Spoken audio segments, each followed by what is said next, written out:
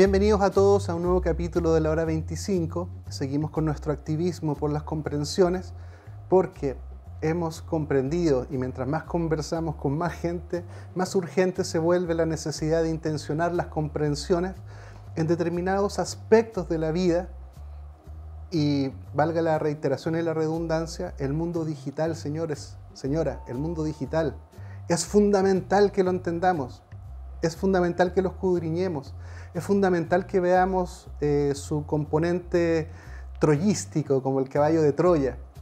Hay muchas cosas buenas, pero también hay muchos riesgos, muchísimos, en tantos planos que yo le invito a que investigue, busque, converse, porque el mundo cada día va a ser más parecido a lo que dicte el mundo digital y las redes.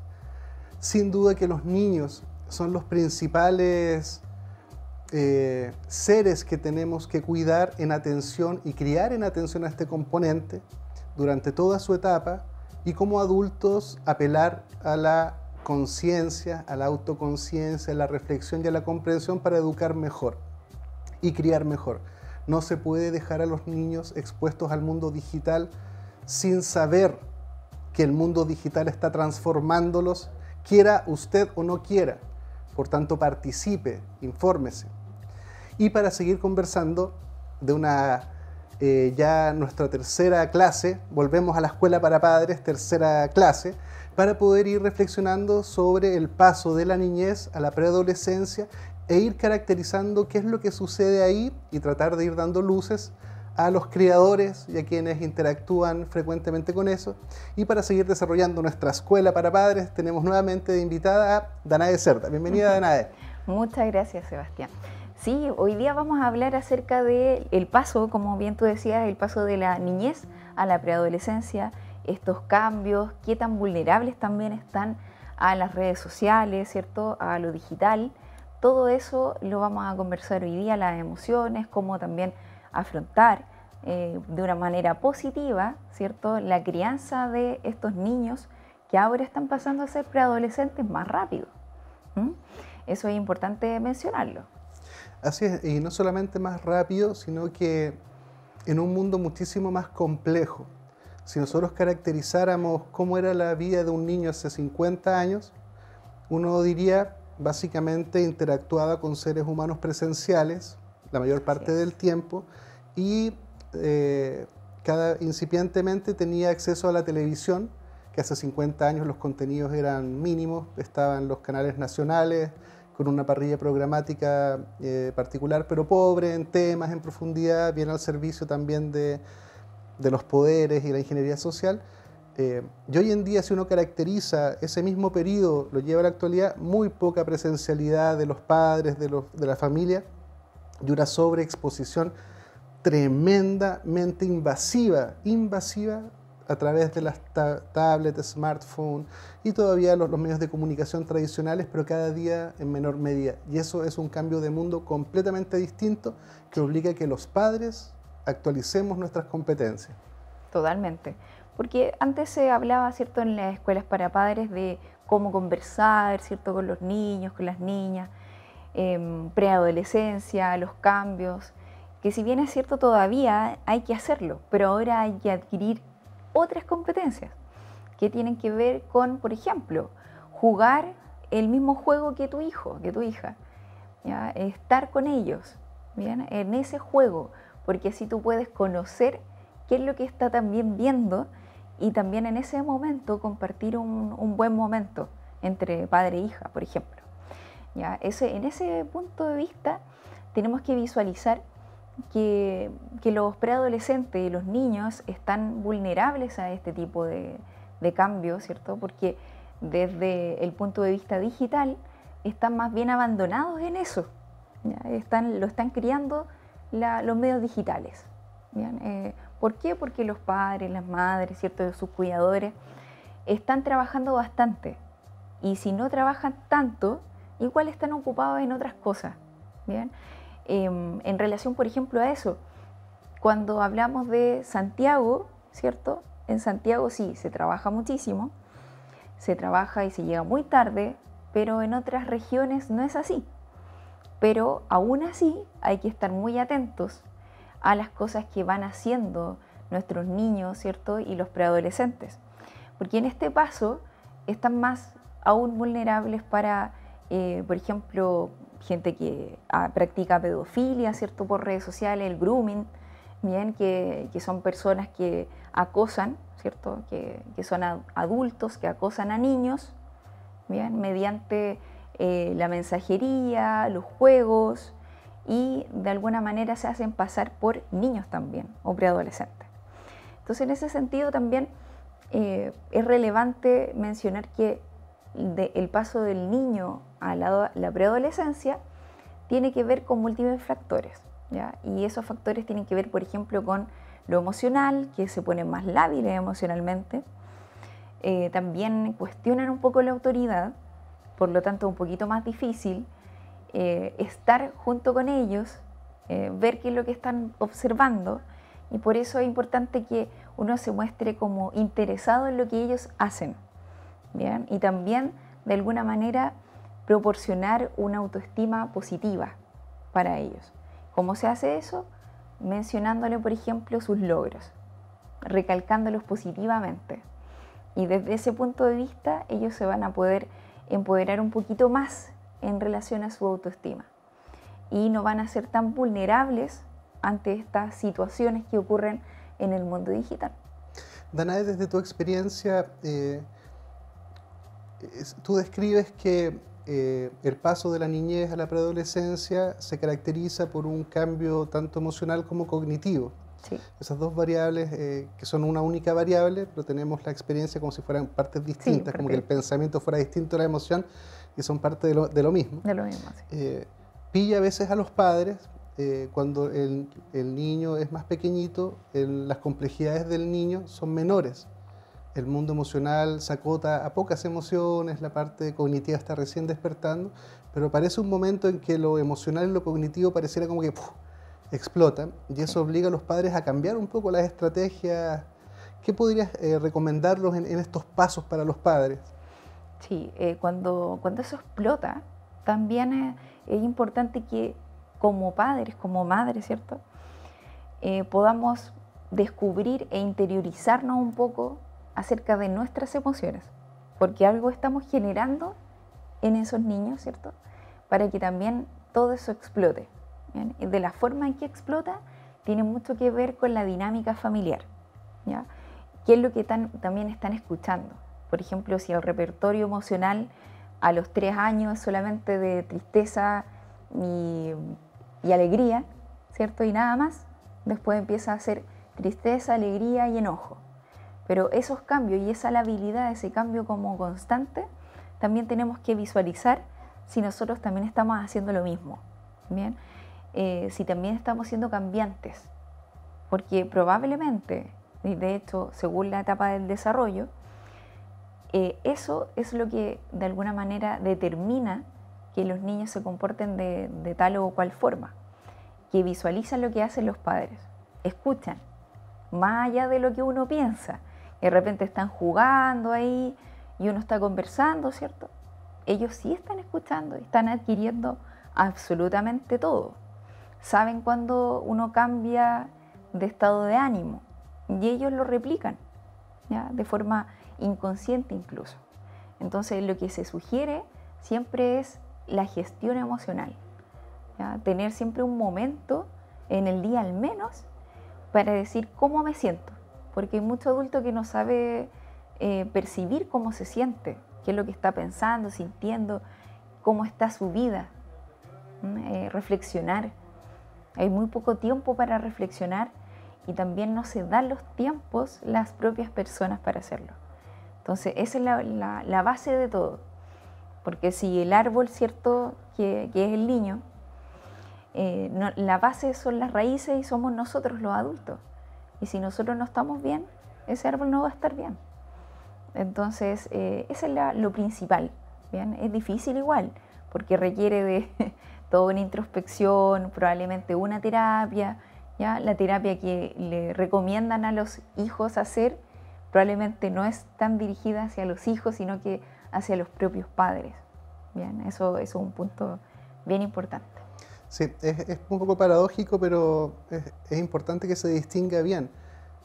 Para poder criar bien a un niño, tengo que haber recibido una crianza adecuada, eso no significa perfecta, pero que te permita eh, reflexionar y comprender los aspectos que quizá quedaron truncos en el proceso o faltó eh, echarles agüita para que florecieran. Pero básicamente para eh, criar una buena persona, primero tengo que volverme yo una buena persona.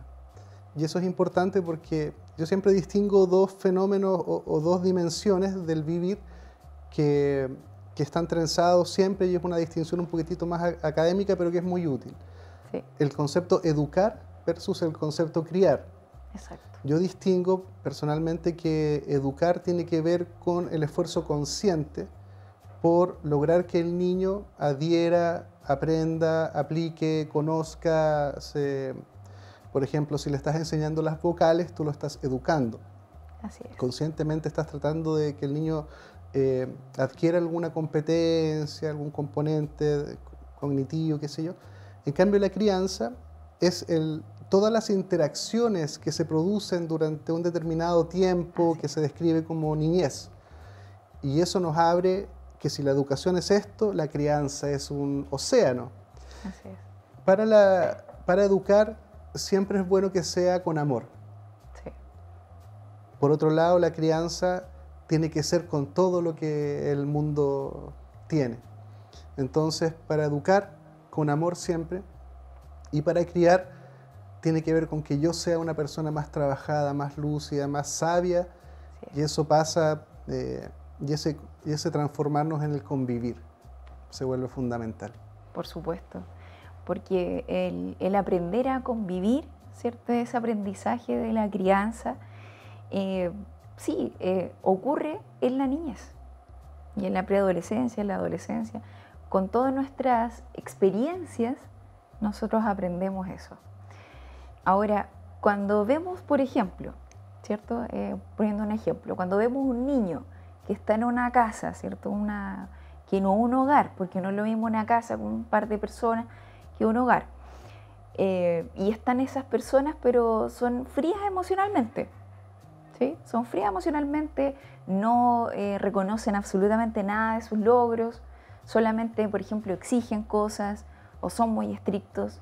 Esa persona después también va a replicar lo mismo o va a buscar rebelarse contra esa forma y probablemente se va a revelar de una manera positiva o va a ir el lado negativo. De, ¿de qué depende, por ejemplo, tú señalabas que ante un mismo pauta o patrón se puede dar una distinta reacción del niño? O puede replicarlo, adherir y replicar, o puede rechazarlo y rebelarse. ¿Qué variables operan ahí en los niños que pueden tirarnos para uno o para el otro lado? Sí, ahí habla mucho de los niveles de conciencia de los seres queridos. ¿ya? Que, por ejemplo, puede ser que la mamá, el papá o la abuela, el abuelo, que con quienes vive, eh, sean personas que son más bien frías, ¿cierto? Pero puede ser que tenga una tía que sea una persona más lúcida. ¿ya? Y de eso va a depender que tenga una, una luz, una ventana dentro de todas esas puertas cerradas, una ventana para poder salir de ese patrón. ¿bien? Entonces ahí decide, cuando alguien le dice, o quizás la misma profesora en su colegio, le dice, pero tú eres bueno, ¿por qué no, no sigue? Sigue adelante. Eh, hay muchas buenas historias de eso. Siempre se habla de, de, que a lo mejor los profesores te dicen, no, eres malo en matemática, entonces, ya, y el trauma ahí pero también hay muchos buenos profesores que han existido que han hecho, han generado en niños que, puedan salir de ese patrón de comportamiento de sus casas, donde existen las drogas, el alcohol, un sinfín de situaciones. ¿ya? Entonces depende de, que exista una, por así decirlo, una lucecita, ¿bien? Una lucecita o una persona vitamina, como bien eh, se dice, ¿cierto? En cierto ciertos casos, ciertos teóricos. Entonces depende de eso. Si no existe eso, es bien poco probable.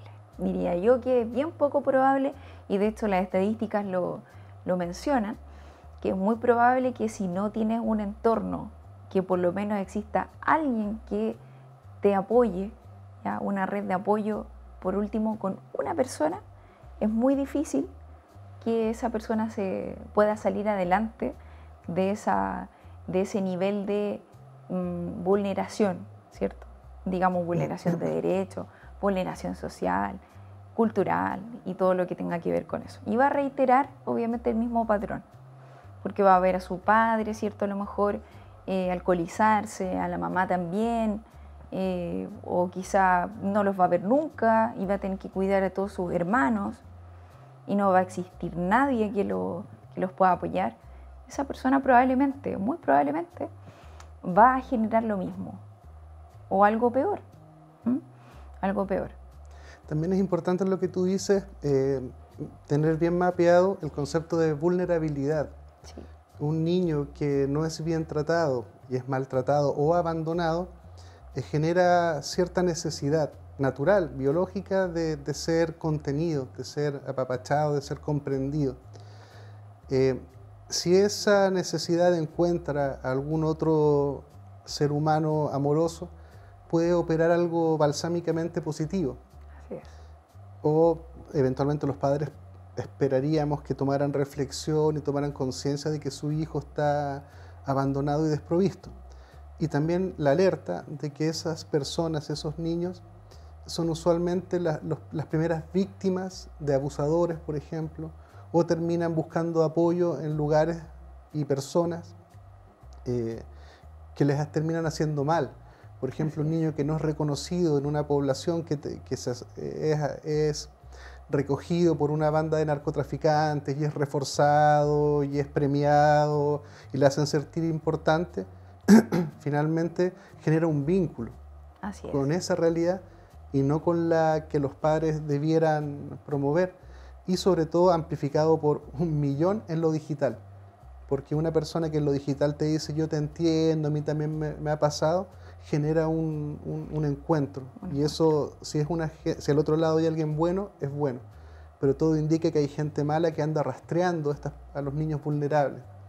De hecho, existe mucho de eso y, y los más vulnerables ¿cierto? E, para ese sentido, eh, en ese sentido es, son los niños, los niños a una, edad temprana incluso, porque ahora podemos decir, no, un niño de, de tres años no va a estar con una tablet o algo así. Sí, perfectamente, si tienen la posibilidad de tenerlo, lo van a ocupar. Y si, si su papá, su mamá tiene algún celular, lo va a utilizar y va a buscar cosas. Porque a esa edad eh, de hecho ya son nativos digitales, entonces, por lo tanto, eh, saben muy bien cómo utilizar estas redes y son más vulnerables, por lo tanto, de encontrar a gente que no es buena. Y que justamente anda buscando, activamente al niño vulnerado, eh, que, es más fácil engañarlo. Sí. Porque un niño que necesita amor responde activamente a quien se lo ofrece. Y todo niño necesita amor y nunca es suficiente. Eso es algo muy importante, como algo de mm, eh, esencial para la escuela para padres, que es la base, es el amor, ¿ya? el cariño. Nunca es suficiente. ¿Por qué? Porque si, si nosotros desde la niñez más temprana demostramos amor, afecto real hacia nuestros hijos, ese ser humano va a ser después una persona con mucha seguridad, ¿cierto? Una persona buena, una persona con valores y que no va a estar constantemente buscando la maldad en nadie, pero también va a saber quién lo quiere y quién no. Pero una persona eh, que, fue en su niñez de alguna manera muy frío, fueron muy fríos con él, eh, no va a saber quién realmente le está dando un afecto real. Claro, o quién le está ofreciendo un amor bueno de un amor malo. Así es, así es, un amor bueno, un amor malo, porque amor tóxico está lleno. muchas parejas, eh, las primeras relaciones en parejas también dan cuenta de cómo ha sido este proceso.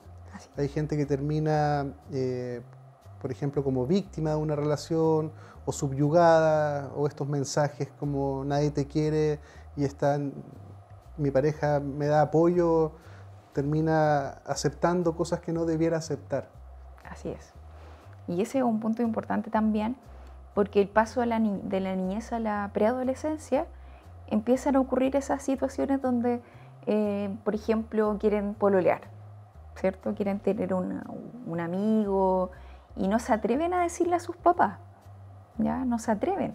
Que decirle que le gusta un niño, que le gusta una niña, ¿ya? Eh, que quiere estar con ellos, con él. Em, y ahí es donde ocurren estas situaciones donde empiezan estas, de alguna manera, relaciones tóxicas, ¿ya? en donde le exigen a la otra, a la otra persona que hagan ciertas cosas. ¿ya? Por ejemplo, está muy eh, ya establecido el tema de, enviarle packs de fotografía íntima a lo, entre, por ejemplo, entre un niño, una niña, ¿ya? Eh, alguien de 12 años con otro niño de 12 años. Creo que eso tiene un nombre, ¿no es sexting? ¿Cómo se... Sí, es que el ¿Tiene sexting... un nombre particular este intercambio de...? el sexting no solamente tiene que ver con, eh, con envío de, de fotografía. De fotografías íntimas. Sí, sino que tiene que ver con eh, tener relaciones por eh, mensajería. ¿ya? Relaciones sexuales por mensajería. Y em, eso eh, obviamente tiene que, mucho que ver con que la, la base es el pack. que este llamado pack después se lo mandan entre, entre otros amigos. Se viraliza. Se viraliza y ahí es donde suceden ciertas situaciones como por ejemplo que eh, la niña, ¿cierto?, en cuestión, que se sacó una foto íntima para su pololo, ¿sí? Eh, se siente obviamente total y completamente vulnerable porque lo está haciendo realmente. Y ahí es donde ocurren un sinfín de situaciones, ¿cierto?, traumatizantes. Que pueden llegar hasta el suicidio. Que pueden llegar hasta el suicidio, que ha, ocurrido de hecho. Y, eso después hace que eh, la, esa niña, por ejemplo, diga, todos los hombres son malos. Entonces eso le queda ahí dando vueltas. Y en su adolescencia dice, no, los hombres son malos. Y esto es algo que, es así, a lo mejor no, no muy, eh, quizás no muy, muy hablado, pero por lo tanto van a elegir a lo mejor estar con una mujer. ¿ya? Entonces, ¿por qué? Porque desconfían de los hombres, porque le han hecho daño en esa primera relación. Y también tiene mucho que ver con el papá ya si hay una figura paterna que ha sido violento con la mamá, por ejemplo, si hay una figura paterna que ha sido violento con uno, también va a incidir en a quién y con quién se va a relacionar esa persona. Qué interesante ese aspecto porque nos retrotrae a la pregunta de eh, cuáles son los componentes eh, que dan para una sexualidad heterosexual o homosexual, o bueno, ya, después la cosa se empieza a, complejizar, pero por lo menos en esos niveles para llevar la conversación no tan compleja, sino esta cuestión va a ser muy complicado, pero eh, ¿cuáles son los factores que hacen que un niño eh, sienta atracción por una niña y una niña por un niño o un niño por un niño, una niña una niña? Eso a lo menos requiere mapear nuestra biología y también nuestra, todas nuestras interacciones en el tiempo. Eh, como tú señalas, pueden haber situaciones particulares que hagan que una persona que iba para un lado termine yéndose para el otro como este. Y también reiterar la alerta del mundo digital de que la gente no puede ser confiada en el mundo digital. El mundo digital tiene otras lógicas.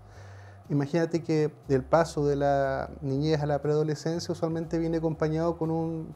aparece la vergüenza como componente emocional que cuando uno son más bebés, más pequeños está, pero muy chiquitos, son más desenvueltos, no hay tanta como no, no, se cuestionan tanto si lo que están haciendo es bueno o malo, avanzan. Pero después aparece esto como de la vergüenza. Y si en ese momento se viraliza una foto tuya, por ejemplo, de alguien desnuda, y se multiplica por 100.000 visualizaciones, porque esas son las magnitudes del tema de las redes sociales, el daño que se le hace a la autoestima, a la autoimagen y la vergüenza destruye la autoimagen, eh, puede ser un daño irreparable y en el mejor de los casos un hito que va a determinar la personalidad y la historia para siempre. Total y completamente. Es que ese, es, la, es el potencial riesgo, ¿ya? Y no solo en las redes sociales, sino que eh, en las interacciones que generan los preadolescentes. ¿Ya? los preadolescentes en este caso. Cuando ya pasan a ser preadolescentes, está ese componente de vergüenza, vergüenza del propio cuerpo. Entonces, para que llegue alguien a obtener una foto íntima tuya, ¿cierto? En esa, en esa etapa, es porque generaste un nivel de confianza, un vínculo, pero tremendo. Y, sentiste que esa persona no te iba a fallar, porque ese es el otro componente, eh, el, el representarse con los pares, el confiar. Y cuando te fallan, en esa etapa es muy doloroso, es muy doloroso. Entonces, desde las amigas que te pueden fallar, de los amigos que te pueden fallar, hasta una posible pareja, ¿cierto? Un pololo, una polola, que después distribuye, ¿cierto? Masifica en las redes tus propias fotos que eran para solamente esa persona. Y eso, claro, es un daño irreparable que puede desarrollar y que puede hacer desarrollar trastornos de la personalidad notorios. Claro, significativo, o sea, podemos ir desde el suicidio eh, hasta que la personalidad no se logre eh, consolidar adecuadamente, sea una persona profundamente insegura, profundamente desconfiada, profundamente celosa, profundamente, eh, bueno, dañada finalmente, todo lo que deviene de un daño estructural, que siempre los psicólogos decimos, lo que pasa en la primera etapa de la vida tiene una particular relevancia para el resto de la vida. Por eso los padres tienen que ser tan conscientes del riesgo de lo digital, porque el daño que se puede hacer, como habíamos visto en otros capítulos, no es lo mismo que te hagan bullying 20, 5 eh, compañeros en la escuela, a que te hagan 50.000 personas en el mundo digital. Entonces hay que entender que si dolía con 5, cuando esta cuestión te transforman en meme o tu, tu, foto íntima termina siendo un meme y lo viralizan por todos lados y hasta se burla gente de otros países, el daño psíquico, emocional que se le hace a esa persona es fatal. Totalmente. Entonces, el mensaje para los niños, preadolescentes, no hagan eso, es muy riesgoso. También pasa esto que, claro, cuando nos amamos, todo bien y todo pero después pasa alguna cosa y después yo te odio y tengo unas fotos tuyas, así que la venganza opera y si después al otro día me doy cuenta de que la embarré y quiero reversar eso, es irreversible. Eso ya lo descargaron por todas partes, ya la gente. Entonces los padres muy alerta con eso de alertar a los niños y los niños estar muy alerta de eso. Sí, y también eh, criarlos en relación a, ese tipo de cosas. ¿ya? Por eso es importante que, porque hay mucha gente que, puede ser joven, eh, pero que está totalmente negada a conocer el mundo digital. ¿ya? Y dicen, no, yo no quiero saber eso, no, mi hijo, yo sé que ellos juegan unas cosas ahí y yo sé que hablan con gente, pero eso, nada más. No, uno no puede tener esa, esa actitud frente a eso. Exacto. No se puede. O sea, tú tienes hijos, tienes que hacerte cargo de ese mundo también, no solo de lo presencial, que ahora cambia muchísimo, ¿ya? y el cómo también se expresan, porque están todo el tiempo con el celular y también hay que interpretar lo que te están diciendo con, el, con el celular en la mano. Entonces, en ese sentido, tenemos que visualizar, por ejemplo, ya, ¿qué es, qué está bien qué no está bien en las redes sociales, porque no está determinado. Esto tan libre que está mm, de alguna manera sembrado, lleno de cosas que son muy complicadas, muy riesgosas para el desarrollo psicoemocional, ¿cierto? Eh, de los niños, de, las niñas, de los preadolescentes. Y en la preadolescencia en particular se da mucho esto de, confiar en un otro y después también eh, cambiar de parecer, odiar, ¿cierto? Amar, odiar y después volver a amar y volver a odiar y después odiarnos a nosotros. ¿ya? Eh, está mucho eso eh, en boga ¿ya? Mm. en ese momento. Eh, ese tema en particular de odiarse cuando sucede algo que te han hecho, porque no siempre la acción es venganza, sino que también a veces se vengan con ellos. Mm. Y ahí es donde empiezan a aparecer estas autolesiones, incluso el suicidio, incluso un montón de cosas, eh, que son difíciles y que son complejas y por eso tenemos que estar muy alerta a esos eh, signos. Por ejemplo, si visualizamos que llegamos a la casa y nuestra hija, nuestro hijo está metido en el celular, ya, uno no tampoco tiene que ser eh, paranoico y ponerse así como, ¿qué estás viendo? ¿Y qué esto? ¿Qué lo otro? No es la forma tampoco.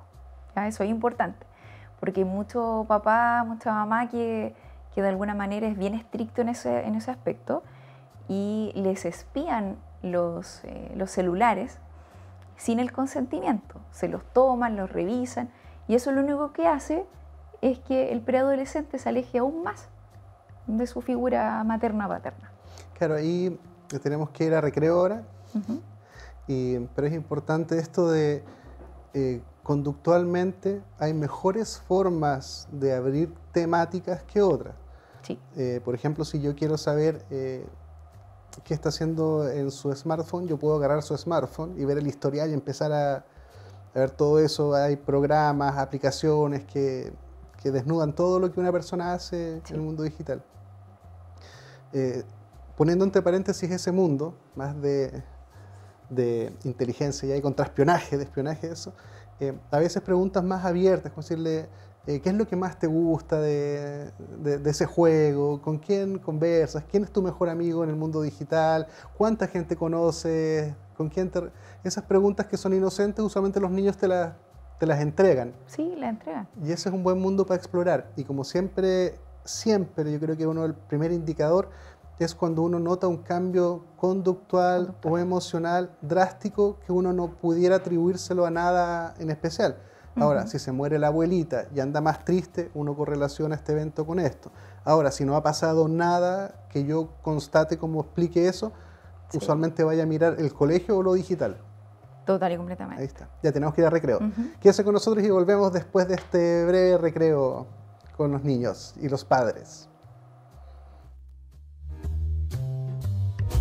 Queremos contarles que Clínica Nueva Costanera se ha unido a Clínica Gastrosalud para contar con una nueva sede en la comuna de Las Condes. Ahí se realizarán procesos endoscópicos, colonoscópicos, polipectomías, además de otras prestaciones asociadas como el balón gástrico, el IPSE y también el que se instala vía endoscópica, además de prestaciones para el tratamiento de alcohol y consultas gástricas. Visita las páginas de cada clínica para informarte de estas nuevas prestaciones. En Centro Médico Manuel Montt contamos con una amplia gama de prestaciones médicas. Estamos ubicados en el corazón de Providencia, con un área gástrica de alta calidad para realizar endoscopías, colonoscopías, instalaciones de pellet antialcohol, instalación y retiros de balones gástricos, ingeribles y vía endoscópica. Revisa todas nuestras prestaciones en www.cmmm.cl.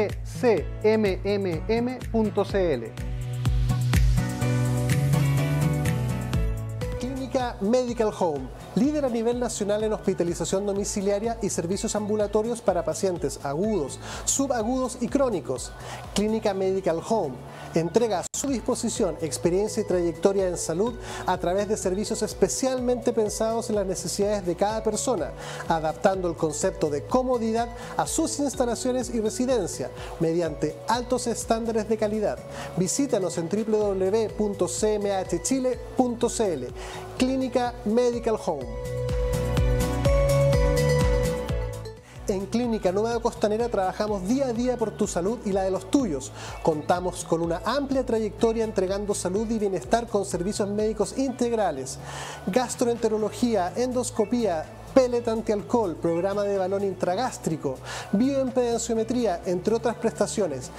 Visita nuestra página www.clínicasnuevacostanera.cl e infórmate de todas nuestras prestaciones.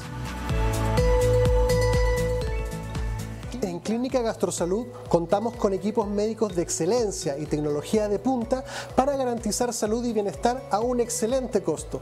Contamos con servicios médicos integrales especializados en tratamientos gástricos y programas completos para la obesidad. Realiza tus reservas de hora en la página www.gastrosalud.cl.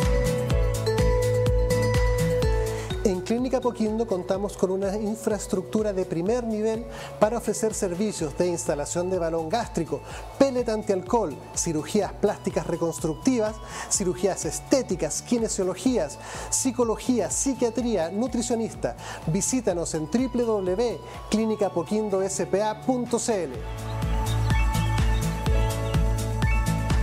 En Logan Abogados contamos con profesionales altamente comprometidos con los intereses de nuestros clientes. Nuestro staff está capacitado para entregar mucho más que una asesoría integral y especializada, pues buscamos proporcionar la tranquilidad que sus intereses merecen y necesitan. Visítanos en www.logan-abogados.cl.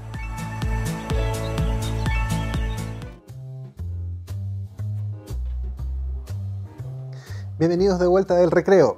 Seguimos con nuestra escuela para padres, tercer eh, día de clases, tercera jornada de clases. en, el primer, en el primer bloque hablamos de varias cosas, pero me gustaría reiterar algunas eh, alertas y algunas miradas. Eh, primero, a ver, tenemos que comprender que el ser humano es asible, es decir, nuestra genética en el encuentro con nuestro modo de vida hace que nosotros seamos de alguna forma Tan así que si un bebé es criado en, una ciudad, por ejemplo, va a ser de una determinada forma y un bebé abandonado en el bosque, que de alguna forma milagrosa y mágicamente, y no me va a hacer cargo de eso, logra sobrevivir, estas dos personas podrían llegar a considerar que esta no es humana. Vamos a ser parecidos sin duda, pero no se van a desarrollar las potencialidades que se desarrollan particularmente en la ciudad. ¿Qué quiero destacar con esto? Es que es muy significativo y vinculante lo que le pase a los niños y lo que nos pasa a los humanos. Eso nos puede convertir en una u otra cosa en una amplitud mucho más grande de lo que uno pudiera sospechar. Entonces, en atención a ese fenómeno natural, es que los influjos que operen sobre nosotros y sobre los niños son altamente incidentes sobre lo que nos va a pasar. Por tanto, primero valórelo, véalo, compréndalo porque es fundamental. Luego de eso, los padres tenemos que estar atentos sobre todo a los cambios drásticos de humor que puedan experimentar nuestros niños. Algunos van a ser por la simple maduración del sistema nervioso, pero tenemos que estar atentos si es que al niño le está pasando algo o alguien le está haciendo algo. Doble clic en lo real o en lo digital. Los padres tenemos que entender que el mundo digital cada día es más mundo para los niños. Entonces hay que mirarlo. Danae, si, sigamos un poco en las competencias de los padres. ¿Cómo los, padres podemos ir, a, primero, cómo darnos cuenta, más allá de un cambio drástico, y si nos damos cuenta, cómo eh, empezamos a interactuar una vez que sospechamos que algo pudiera estar pasando? Sí, lo, más importante acá es observar. Observar a a nuestros hijos cómo están de alguna manera comportándose. ¿ya? Por lo menos una semana de observación. Eso es súper importante para ver cómo va cambiando su humor, sus estados anímicos y todo. Eh, cómo va cambiando también su comportamiento en relación a las redes sociales eh, o a lo digital cuando están con el celular, qué expresiones tienen, con quién conversan, si se ríen o no, todo ese tipo de cosas que parece ser algo súper eh, sencillo, pero no lo es. Porque uno tiene que estar con una mirada de alguna manera más allá de lo eh, habitual, ¿cierto? Mm. O aparente. Sino que ir un poquito más allá, observar. Después de eso, tenemos que empezar a sentarnos al lado de, ellos y empezar a preguntarles, ¿cierto? Empezar a preguntarles cómo te has sentido, eh, qué has hecho con tus amigos, mira por qué no lo invitas a tu casa o a nuestra casa, ¿cierto?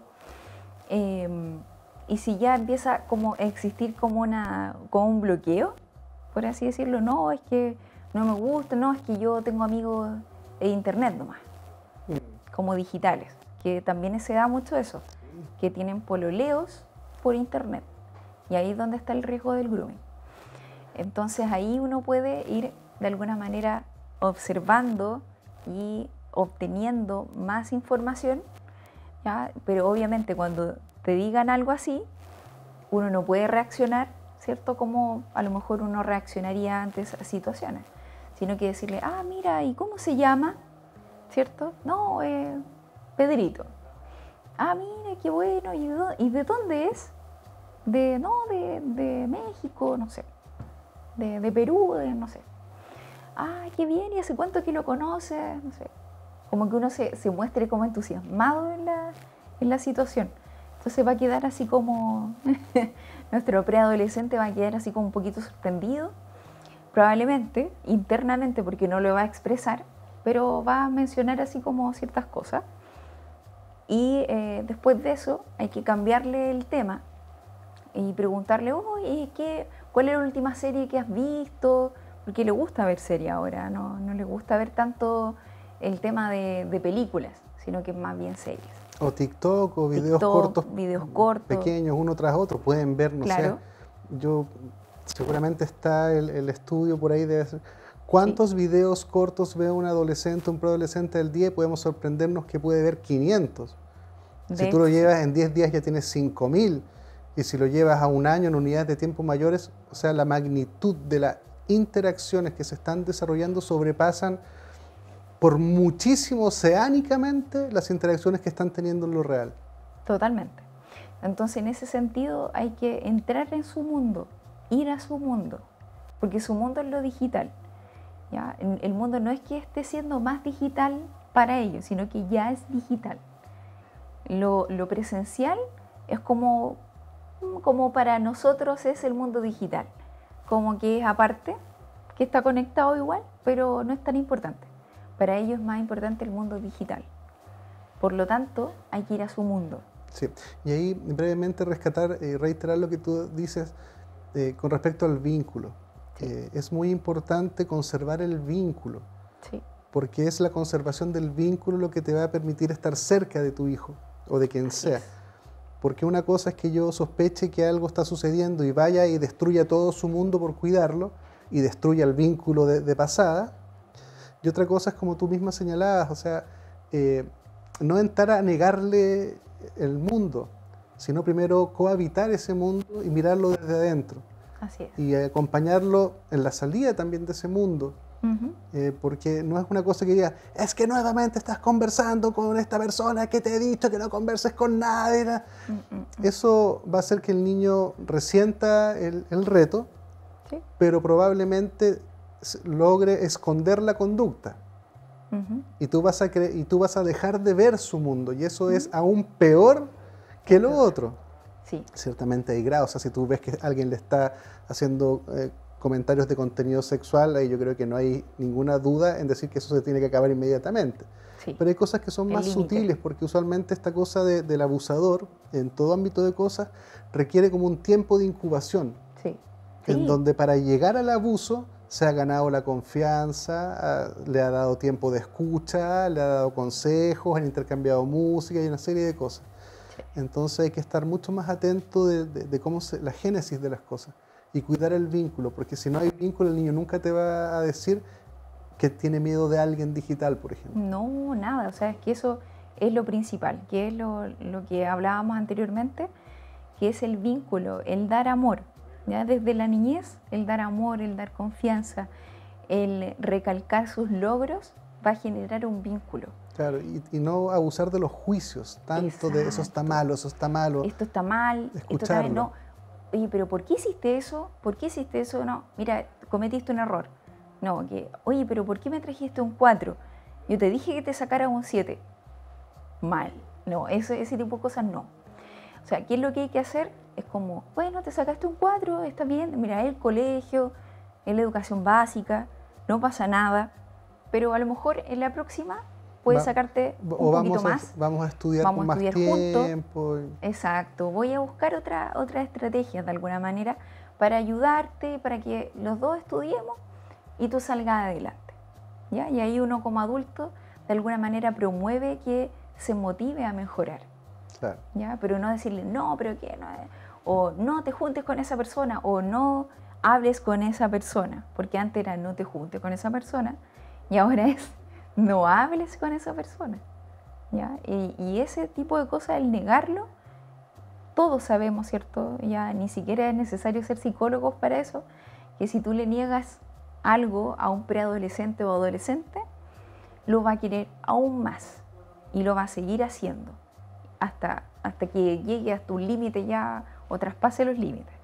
O los haga fuera de, tu vista, porque tú le puedes quitar el teléfono en tu casa, pero el niño puede salir y va a la casa, llega al colegio, va a la casa otro, y, agarra el teléfono de otro y, sigue igual. Sí, porque abre su, cuenta o abre otra cuenta y sí, de verdad, o sea, eh, yo tengo pacientes en consulta que, son eh, preadolescentes y tienen al menos 10 cuentas de Instagram, 4 de TikTok, y una es para mostrárselo a su mamá, otra es para conversar con gente, otra es para dársela a sus compañeros de clase. O sea, ese, ese tipo de, riesgo estamos hablando. Porque podemos decir, sí, no, yo sé que tienen tantos seguidores en este, no sé qué, pero usted no sabe si es que realmente tiene solamente esa cuenta. Y desde muy chiquitito empiezan a hacer ese tipo de cosas. Por eso que si uno evita el juicio, eh, es más esperable que los niños abran su mundo. Sí. Siempre el concepto de intimidad, vergüenza, siempre va a estar ahí. Y hasta tiene su razón de ser el tema de la vergüenza, la intimidad, que tiene que ver con la configuración de la personalidad en, en su justa medida. Eh, pero no podemos matar el vínculo por una cosa particular, por más eh, significativa que sea eso no significa que no se tenga que arreglar o no se pueda hacer algo. Se tiene que hacer y se tiene que arreglar. Sí. Pero es muy mala medida dinamitar el vínculo en el proceso. No, no, se puede dinamitar. O sea, si se dinamita el vínculo, es muy difícil volver a generarlo. Claro, por eso como tú decías, es mejor eh, cuando él te dice, mira, conocí, estoy conversando con una niña mexicana que es mi amiga, en vez de decirle, no, porque tú no sabes, quiero que termines eso, porque tú no sabes quién es, puede ser un adulto, así que no quiero que nunca más hables con ella. Eso pudiera ser una respuesta esperable de las personas que estamos sensibilizados hacia los peligros de lo digital.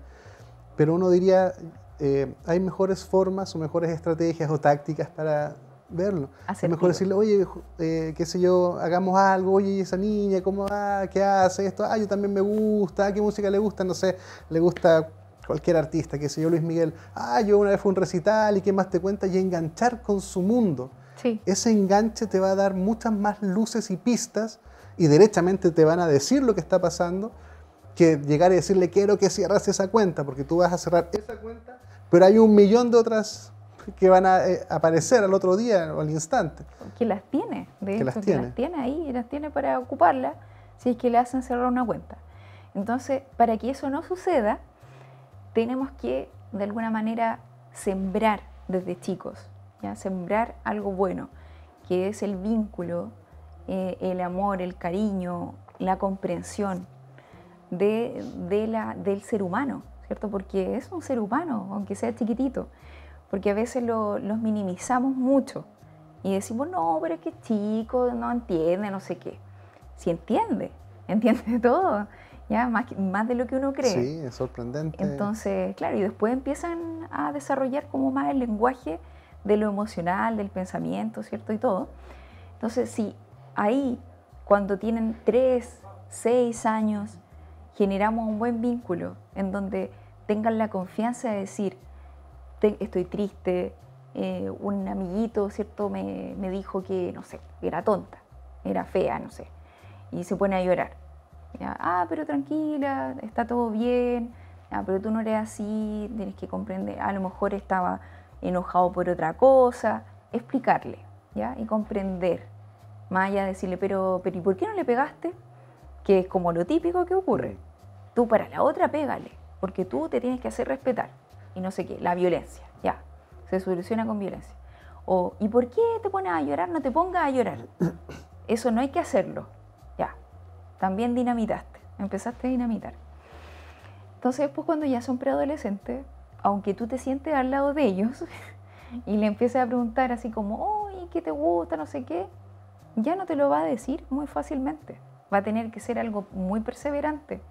Ya va a tener que existir otras habilidades y competencias para desarrollar, como por ejemplo, invitarlos a un lugar. Ya, por ejemplo, algo que le guste. No sé, a ver animales, ¿cierto?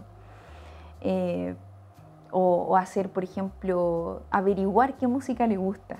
Averiguar, por ejemplo, con una prima de la, de la niña o del niño Ya, ¿qué música le gusta? Por ejemplo, le gusta mucho BTS o los grupos de K-pop a, las niñas, a los niños por lo general, preadolescentes actualmente.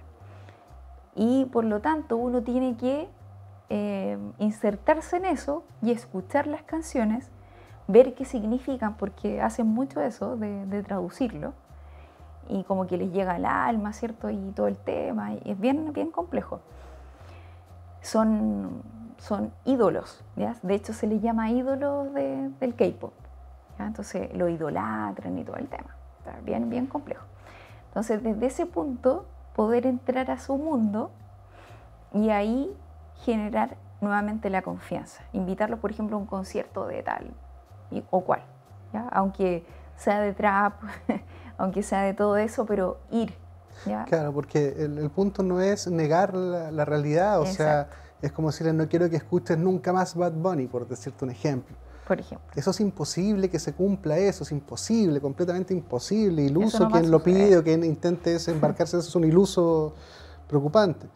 Lo que queda disponible es que co-caminemos ese camino y co-construyamos el mejor sentido posible. Así es. Sí, que co-construyamos eso significa que también, por ejemplo, si, si nosotros consideramos que el trap tiene, porque tiene letras que son como no muy buenas, ¿cierto? Pero si les gusta, no hay que decirle así como, oye, qué mal esa canción, o yo en mis tiempos escuchaba mejor música, ese tipo de cosas no hay que decirlas porque lo único que hace es alejarla, alejar el, eh, este ser humano, ¿cierto?, que se está desarrollando. No, uno puede escuchar otra música y le va a quedar en el subconsciente. Y después cuando crezca esa, esa persona, también va a acudir a escuchar eso que escuchaba su papá, su mamá. Claro, también eh, invita a los padres también a reflexionar, porque hay muchos padres que escucha, eh, por ejemplo, este tipo de música en el auto con su hijo de 5 años atrás. y el padre no tiene ninguna reflexión, la mayoría no tiene ninguna reflexión de las letras que, o los mensajes que se están insertando en el niño. Cuando tú dices, por ejemplo, que lo idolatran cuando uno idolatra a alguien, hay un fuerte componente de querer ser como él. Eso es parte constitutiva del, ídolo. Quiero ser como él, quiero ser como Messi, quiero ser como este, o quiero ser como Bad Bunny, qué sé yo. Y si Bad Bunny dice que hay que pegarle a la mujer que se pone chúcara, el, niño reflexivamente va a decir, ya, para ser como Bad Bunny tengo que pegarle, o tengo que cosificar a la mujer, o tengo que hipersexualizarlo, y que vea una mujer y tengo que llevarla a la cama al tiro porque Bad Bunny dice que, que vamos del carreta no sé dónde esas reflexiones que pudieran ser, eh, no, como está yendo en la bola, no señora, no señor, no me estoy yendo en la bola. Nosotros somos psicólogos y eso opera en el inconsciente y consciente del niño. Y el niño cuando empieza a vincularse echa mano de lo que le enseñaron sus padres o lo que su ídolo hace. Así es. Y esos ídolos a veces son narcotraficantes, andan con armas, toda la cultura narco. Y ellos empiezan a pensar que el mundo es eso y que para allá van y tienen que llegar bien a ese mundo y es una distorsión horrorosa. De... Total y completamente. Es una distorsión horrorosa y, por lo tanto eh, no hay que negar ese mundo, pero también hay que poner límites cuando tenemos hijos pequeños, ¿cierto? Porque si estamos escuchando en el auto un hijo de 5 años y estamos escuchando, no sé, por trap o alguna letra. Y después los busca activamente. Los busca. Los busca en YouTube. Los va a buscar. Y, aunque, no sepan escribir, aunque no sepan escribir, ocupan Siri, ocupan el YouTube, Bad Bunny. Y, listo, y todo llega a ellos nuevamente. Todo llega. Y de hecho, bueno, YouTube tiene esa característica de que uno pone cualquier cosa y lo detecta. Sí. Ya, lo detecta así como por la fonética y todo. Sí, es increíble esos Entonces, ¿cuál es la canción de que dice tarará? Y te muestra la canción. Pues. Entonces ahí está, es bien complejo porque eh, puede ser muy bueno para ciertas cosas, pero puede ser muy malo para otras. Sí, porque las letras, por ejemplo, de Bad Bunny y compañía son altamente sexualizadas, son altamente, incluso medias violentas algunas, algunas hasta satánicas, te comentaba esa, esa frase la otra vez. Eh, lo mismo del concierto de, de, Yankee, que bueno, yo vi unas imágenes donde salía un carnero ensangrentado, y por lo menos en los arquetipos que tengo yo, eso yo lo diría, pero eso es medio satánico. Ahora alguien me dirá que significa otra cosa que no sé qué, pero no me podéis negar que, lo hicieron por casualidad, pues, o sea, como que no tenían nada mejor que poner un carnero con sangre, entonces, eh, señora, señor, eso no es neutro, eso no es irrelevante. No lo vamos a poder negar, pero tampoco haga como que no existe. No haga como que es no lo que está en medio de hacerte cargo y responsable de la realidad, de justamente eso. Así es. Y ese, ese carnero, ¿cierto? Eh, es muy parecido y no, sé, nada es casualidad, eso es importante también saberlo. Eh, se parece mucho a, a Baphomet, ya que, en algún momento te, que es una deidad. Es una deidad cierto satánica satánica lo que sea. Pero eh, por eso no es no es como nada es casual ¿ya? uno tiene que igual interiorizarse en relación a eso claro. ya interiorizarse por qué, están poniendo exacto, eso. Exacto. La pregunta es por qué alguien para qué para, qué, Para, quién era necesario hacer una alusión eh, a algo que la mayoría de la gente entendería como satánico Alguien dirá, no, lo que pasa es que eso tiene que ver con otra cosa, está bien, pero en el inconsciente colectivo, en los arquetipos culturales que siguen operando, eso es un, algo satánico. O sea, tú decís... Te llega al, subconsciente igual, o sea, las letras, todo, la imagen, ¿cierto? Eh, es alertante. Uno podría decir incluso que en el concierto tan, todo tan violento también estaba promovido por eso por esos valores o antivalores culturales. Dana, se nos está acabando el tiempo, entonces quería regalarte, antes que se me vaya el tiempo, un pequeño regalo por ser eh, reiterativa en, aceptar nuestra invitación. Un pequeño regalo de, parte de todo el programa. Yo feliz siempre de, bueno de estas escuelas para padres y de poder aportar cierto para las comprensiones, cierto que el activismo que, que tú realizas y del cual yo también estoy muy consciente de, aquello. Ojalá se inspire más gente. Además tenía un regalo, no sé si te regalé este libro también de Contraídolo. buenísimo. Que tengo varios del mismo poeta. Bonito, entonces también aprovecho, vas a ir bien regalada del ah, programa. Muchas gracias. Eh, bueno, muchísimas gracias por esta tercera jornada de la Escuela para Padres. Vamos a avanzar a la cuarta, tenemos muchas temáticas. Algún día ojalá alguien pueda verlos de corrido para ver la continuidad de la escolarización.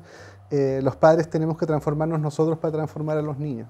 Y sobre todo estar muy, muy, muy extremadamente alerta de lo digital y de los ídolos, todo lo que anda por ahí. De los ídolos, todo. Hay que reconocer y observar bien qué es lo que estamos sintiendo para también ser lúcidos, ser más lúcidos con lo que también están observando nuestros hijos. Así es. Muchísimas gracias, Danae. Muchísimas gracias. Suscríbase a YouTube, al canal La Hora 25 Chile. Hay muchos contenidos para usted importantes todos, desde el tiempo de aprender cosas importantes y reflexionar y comprender. Buenas noches a todos, muchas gracias Danae, gracias a los que nos siguen.